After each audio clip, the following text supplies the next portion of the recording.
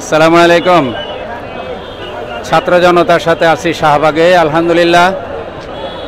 ছাত্র জনতা শপথ নিয়েছে, খুনি ষড়যন্ত্রকারীদের ষড়যন্ত্র বাস্তবায়ন হতে দেবে না তারা, ইনশাআল্লাহ।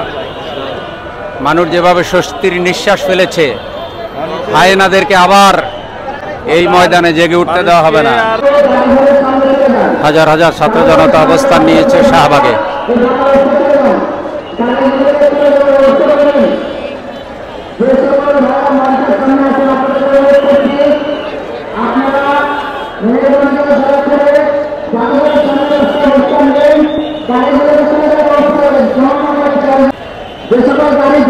আলহামদুলিল্লাহ অনেক মাদ্রাসার ছাত্ররাও শাহবাগে এসেছে।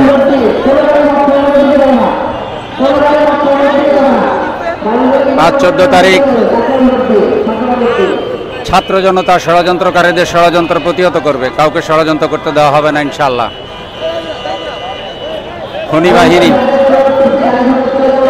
যারা খুন করেছে, এখন তাদের বিচারের পালা। ছাত্র জনতার দাবি, খুনিদেরকে দেশে পুনর্বাসন করার স্বপ্নও কেউ যেন না দেখে।